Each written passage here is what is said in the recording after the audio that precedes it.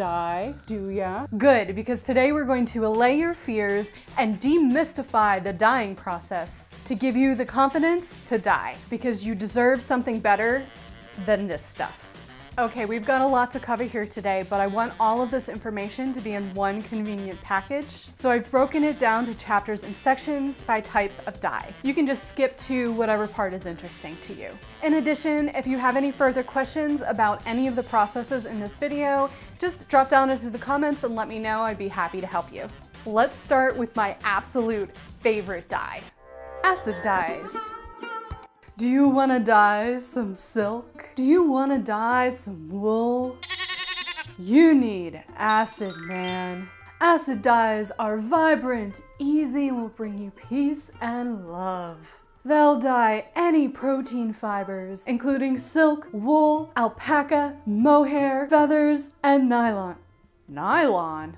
It's true. Nylon is chemically similar to silk. Far out! Besides nylon, Acid dyes won't stick to any fiber that's synthetically made or comes from plants. They're also totally safe and non-toxic. Great for the home dyer. It's so safe that you can use your exhausted dye bath to water your plants, which means it's great for our planet. And certain acid dyes are even used for our food, man. That's right. These little babies are made from acid.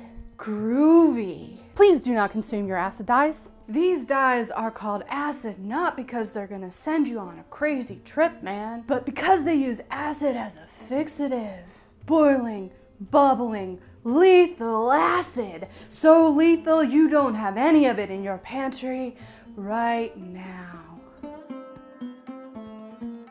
If you hate the smell of vinegar, do a lot of dyeing, or just make bath bombs at home like I do, then you can also use citric acid, which is much more economical than vinegar in large doses. The technical stuff. The acids help lower the pH of the environment, allowing the dyes to bond to the protein of the fibers. This is done via hydrogen and ionic binding and van der Waals forces. Whatever that is, man. Pros and cons. Pros, vibrant, permanent color, fast, easy dye process, light and wash fast, in cool and warm water. Concentrated and economical, no additional chemicals to purchase, low to no waste, huge array of color choices. Cons, requires a hot water dye bath. Some colors are harder to get than others. Some colors are pricier than others, but they're still a heck of a lot cheaper than RIT. Supplies, small scale, kitchen scale, dedicated spoon, container for pasting, container for mixing, dedicated thermometer, dedicated dye pot large enough for fabric to move freely, vinegar or citric acid, acid dye. I recommend using Dharma Trading's acid dye. They are by far the most economical of all the acid dyes out there. For example, this half ounce jar of Jacquard acid dye in golden ochre costs $3.85 on Dharma Trading, and this two ounce jar of Valentine blush costs $2.65. First, weigh your fabric on a kitchen scale and notate the weight. You want to wash your fabric in hot water in either Synthrapol or blue colored Dawn. Must be the blue kind. Synthrapol's better because it's low foam, but Dawn's cheaper and smells a heck of a lot better, but use it sparingly in your machine or it'll explode into bubbles. DT now has a cheaper, greener option called textile detergent, which I'm going to try instead of Synthrapol next time I need some. Add some of your detergent of choice and then fill your container with hot water. Then add your fabric. This is cream colored worsted wool from Burnley and Trowbridge. Regular viewers, can you guess what we're about to dye? Give it a good swish and let it soak for a while. This is wool you definitely want to do this by hand and not the machine or you'll end up felting the fibers. Silk's probably better hand washed too, but nylon you can throw in the machine. Give it a good squeeze and rinse out your detergent. Meanwhile, in a different room, or better, outside, so airborne particles won't dye your wet fabric, we'll batch up the dye. Use a scale that goes to the hundredth decimal point. Give your dye a good shake with the lid on. Multiply your dry fabric weight by 1.5% to get the amount of dye you need to use. For a lighter color, you can use less, and for a darker color, you can use more. Note that I'm using the Jacquard dye for this particular project, but the ratios and process are the same for the DT dyes. It's rare I use this particular brand, but they just happen to have the exact color I wanted, and I didn't feel like fapping about with color mixing. Now add a little water to your container and mix or paste it together until all the dye is dissolved. I should be wearing gloves for this. Acid dye especially, you want to wear gloves because it's meant to dye protein, i.e. your skin. The table I'm less worried about because it's enameled metal, but best use protection from your surface as well. Then add your paste to your other container and stir in the stuff you missed. Add your dye to a pot of room temperature water. I like to dip my containers in to make sure I get all of the dye. Give it a good stir to make sure everything is dissolved. Then add your wet fabric to the dye pot and stir so it's evenly distributed.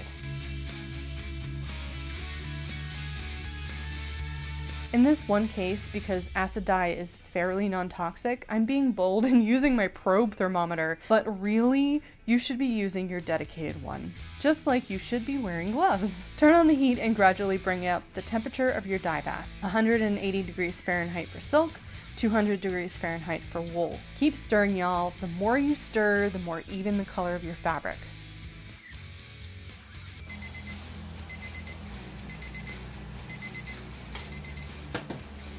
Once you hit the right temp, add a quarter cup of distilled white vinegar or a tablespoon of citric acid per pound of fabric. Move your fabric out of the way before adding it to the dye bath or you'll get splotches.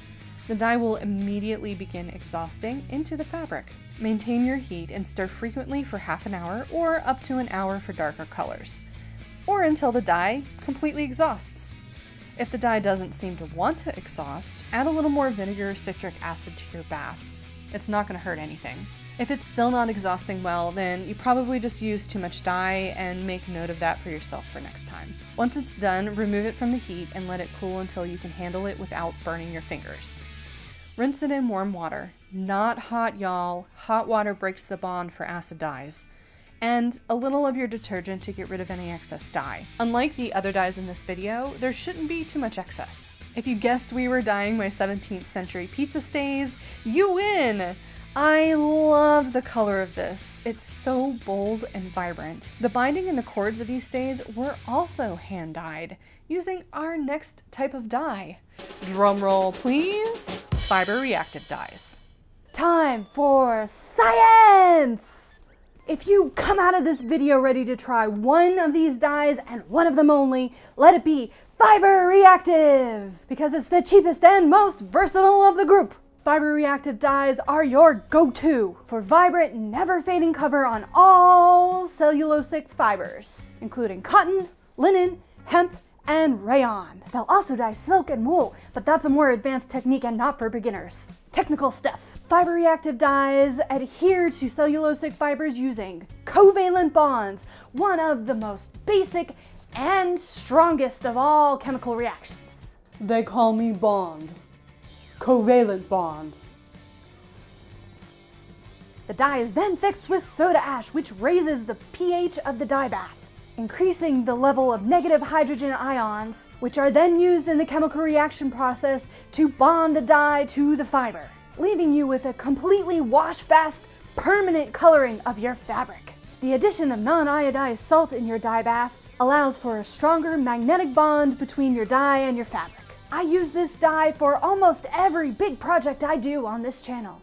It's very useful. Pros and cons. Pros vibrant, permanent color, light and wash fast, concentrated and economical, huge array of color choices, uses lukewarm water, large batches can be done in the washer. Cons. Have to purchase additional but low cost fixatives, more complicated but not difficult process. Dye bath deteriorates after a set period of time, uses a lot of water. Supplies. Small scale, kitchen scale, dedicated spoon, container for pasting, container for mixing, 5 gallon bucket for up to a yard of fabric, large 20 gallon bucket or washing machine for larger, the washing machine will give you the most even color, but I can't use mine because it drains between each cycle and even if you reset it. That's a really good thing to check before you decide to use your washing machine to dye. Non-iodized salt, soda ash. Fiber reactive dye, I recommend using Dharma Trading's Fiber Reactive Procion dyes. They're cheap and they have 146 colors to choose from, and a lot of the times they have a lot of seasonal stuff come out as well for a limited time. If you're noticing a pattern in my purchases, that's because Dharma Trading is the go-to for dyes. I'm not sponsored by these folks, but I have been using them for more than 10 years. They have the best prices, the most selection, their customer service is great, and on top of that, there's a bunch of tutorials and DIY projects and all sorts of things on their website that are available for free. You can also get all your other dye supplies there, including Synthrapol, urea, and soda ash. A pound of soda ash runs about $2 and my five pounder goes for about six, although the shipping on that gets a little pricey because of the weight. Even with the shipping added, however, you can get five pounds on DT for 20 bucks-ish, and on Amazon, you get two pounds for 15. As a beginner though, just go for the one pound bag. That's all you'll need for a long time. Unless you do a lot of machine dyeing in which you wanna get the five pounder because it'll go much quicker. Don't worry about the urea though until maybe your third or fourth fiber reactive dye. It's useful and handy to have, but it's not necessary to do the process. Just worry about the soda ash. Where are we at with weight for this? All right, we're at 15 ounces, which is just slightly under a pound. You can adjust your color depending on how much dye you use. I will say DT's green dyes in particular tend to run very blue, so it would be smart to buy some lemon yellow, the primary, for overdyeing if you're wanting green. DT has a general estimation of how much soda ash, water, and dye to use if you don't need an exact color. But if you'd like a very precise measurement, they also have a dye estimator where you can just pick the color you're using, add in the weight of your dry fabric, and poof, it'll give you a very precise weight of dye to use. Links to all of this in the description, as well as their excellent dyeing tutorials. For these two particular batches I filmed, I'm just using the standard of about a tablespoon per pound of fabric. Give your dye a good shake, and remember to do this in a well-ventilated area away from any cellulosic fibers to avoid any airborne dye sticking to them. Outside is better. Some dyes are harder to dissolve than others, specifically those with reds and darker yellows in them. You can dissolve a tablespoon of urea in a cup of hot water and use that to make your dye slurry, which I'm opting to do in this instance since I'm using the fuchsia red dye. If you don't want to buy this, just run it through some cheesecloth or a spare bit of muslin when pouring the dye into the dye bath to catch the undissolved dye. Measure out your dye by either volume or weight and add it to your mixing container. Then add some hot water and paste up your dye.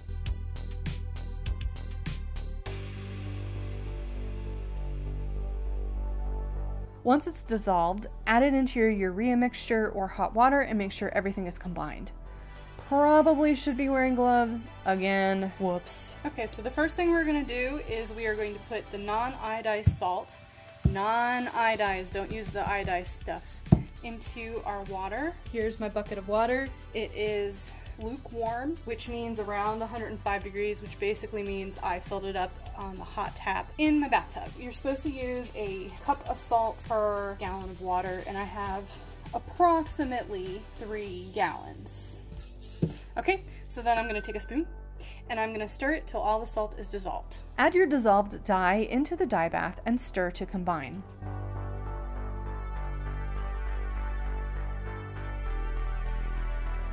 Take your pre-washed wet fabric and add it to the bath. Stir frequently for 20 minutes. Now it's time to add the soda ash. Pull your fabric up and out of the way. You're going to add a third of a cup of soda ash per 3 gallons of water, but we're going to add it in 3 batches over about 15 minutes. I've since started dissolving the soda ash in a cup and a half of hot water first before adding it to my bath. So add a third of it and stir, then put your fabric back in. Once your soda ash has been distributed and 15 minutes total passed, continue to stir frequently for half an hour for lighter colors or an hour for darker. You can't leave it in for much longer than that because at that point the dye has deteriorated enough that you're not going to get much of a difference. I usually time it in about 5 minute increments as far as stirring to get a nice even color. The big tub does a much more even dye than the bucket. When the color is set, rinse under cool water until it runs clear, then run it through a cycle or two in the washing machine. There will be excess color in there, so don't skip this step. Then finally, run it in a hot water cycle in your machine using Synthrapol or Blue Dawn. And here's the finished fabric, which I used for the lining of my mullet stays. I also used fiber reactive dye to dye the background of the stomacher, the shoulder straps, and cords of these to make a completely custom and gorgeous pair of stays. Union dyes. Four score and seven years ago, our dye fathers brought forth on this channel a new dye, conceived in convenience and dedicated to the proposition that all fibers are created equal. I present to you the Union dye, the dye anything dye. Well, the dye is almost anything dye. Well, the dye is almost anything dye with various degrees of effectiveness. Well, the dye is almost anything dye with various degrees of effectiveness until you wash it. Then you're riding the fade train out of Gettysburg, folks, whether you want to or not. Union dyes are so called because they are a bunch of other dyes put together in one convenient package. Acid dyes for protein, direct dyes for cellulosic, plus a bunch of other stuff for the synthetics. If I sound derisive, it's because, well, RIT is usually your worst option for most choices. The only reason people go to RIT first is because it's familiar, and human beings as a species are terrified of trying new things, even if it's beneficial for them to do so. Please don't be one of those people. You have nothing to fear from doing fiber reactive or acid dyeing. In fact, you might actually find it a much more pleasant experience, especially because they don't smell. But there are some good uses for RIT, so let's skip the technical bit and go straight to the pros and cons. Pros and cons. Pros. Will dye synthetics to an extent, good for blends of different fibers, good for dye matching, the most accessible. Cellulosic fibers can be done in the washing machine. Cons. Not wash fast, not light fast, requires a hot water dye bath, a lot of wasted dye, expensive and not concentrated, limited color range without dye mixing. The one thing RIT is really good for is dye matching. I spent two thirds of a semester in college learning how to achieve the perfect color using RIT. Because the temperature of the water, the amount of dye, and the length you leave it in the bath all affect the outcome of the color, it makes it a lot easier to do matching than with fiber reactive or acid dyes. But you can still do it with those, it just requires a little bit more testing first.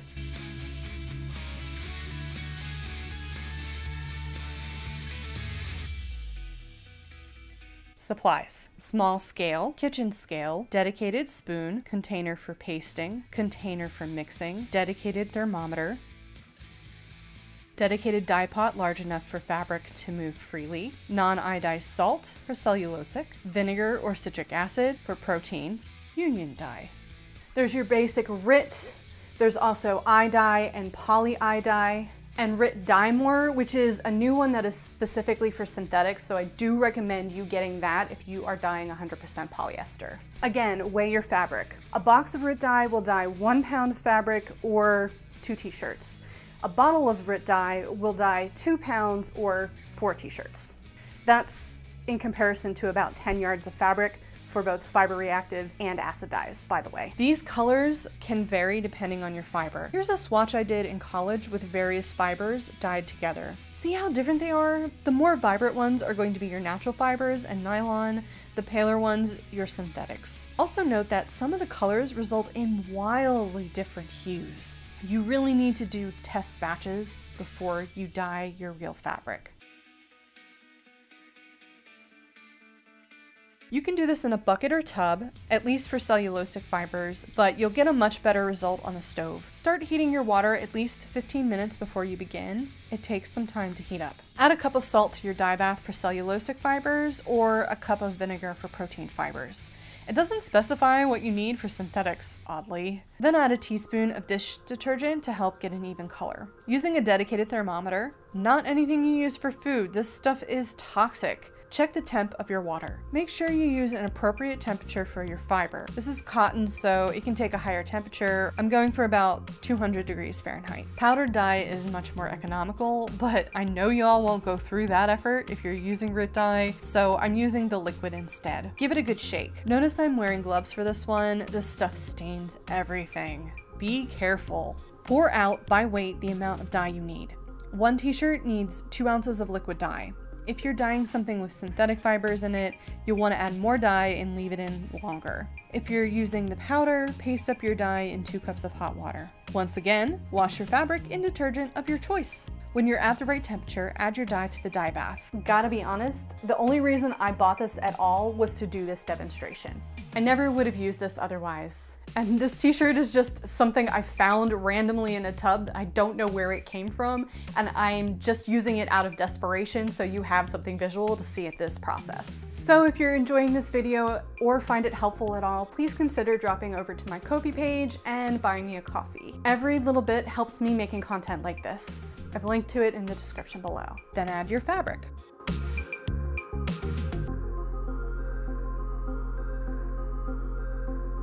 Set your timer for at least 30 minutes. Stir frequently.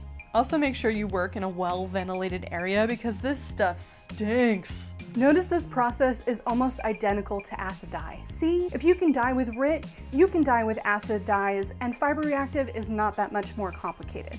After your time is up, turn off the heat. I was hoping for a more vivid color, but like I said, this is a pure demonstration, and it's almost 10 p.m., so I'm calling it done. Rinse it in water and then run it through the machine a couple of times to get out any excess dye. Here's the finished t-shirt. Not really my color, but hey, it'll fade, right? RIT does make a fixative now to keep the color a little bit longer, but it's still not going to be completely color fast. I broke one of the golden rules of dyeing and didn't actually check my fiber content before I dyed this t-shirt. Did not realize it's 50-50 poly cotton and not 100% cotton like the rest of my t-shirts. No wonder it was in a bucket for years and I have no idea why. That's why. If I had known, I would have upped the level of dye and upped the temperature to get a stronger color, but since I don't really care what actually happens to this, it's not really gonna get worn that much. It's not that big of a deal. Thank you all so much for watching. I hope this helps you feel a little bit more confident in trying a different dyeing technique specifically fiber reactive or acid dyes. Like I said, RIT is good for some things, but it just doesn't hold up to the wearability, wash fastness, and brightness of the other two dyes. Almost every historical project that I do on this channel has an element that has been dyed using fiber reactive or acid dyes.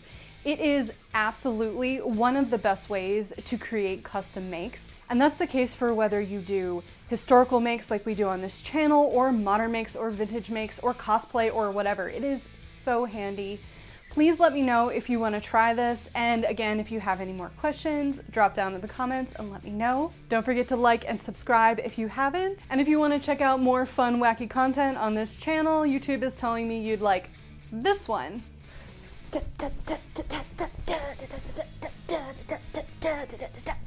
I feel more like Charlie Chaplin than Abe Lincoln. If I had a space to do it, I'd do a tap dance for y'all.